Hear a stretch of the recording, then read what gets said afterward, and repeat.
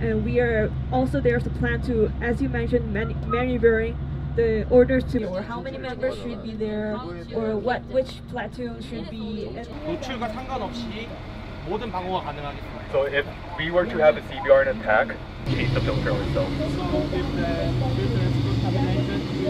We will change it. on the weather condition, especially by the direct sun, by the maximum temperature, the FCC,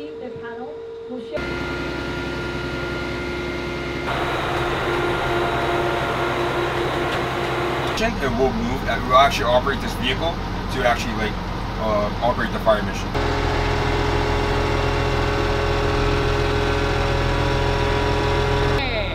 Okay. Okay.